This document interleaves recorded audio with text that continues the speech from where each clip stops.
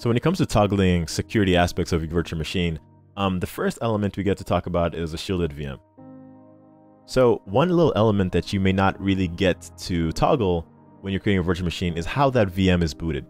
You may be running very secure workloads. It could be payment information, and you want you want to ensure that down from the bottom of how the node starts up and how it boots up your uh, VM, you want to have 100% assurance from Google that nothing at, a, at that low level can be compromised.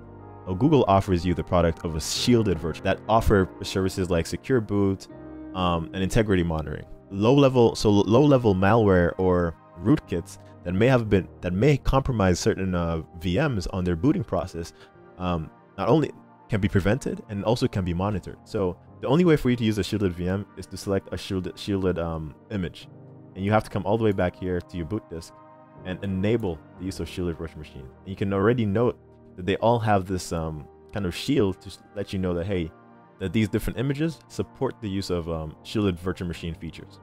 And the beauty about this is that it comes at no extra cost. So if you check the cost section, nothing's been added, which is pretty cool. So now you have the ability to turn on uh, secure boot and all these other all these other uh, secure features.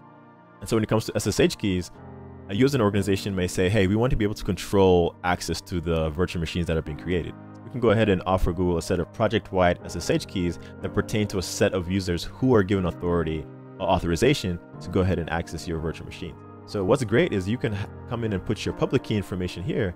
And so only users with their private key have ability to connect to these virtual machines. Now, I want to mention that that's important for me to state that the moment you do this and use your own uh, SSH keys, you automatically block off quite a significant portion of your organization who do not have those private keys.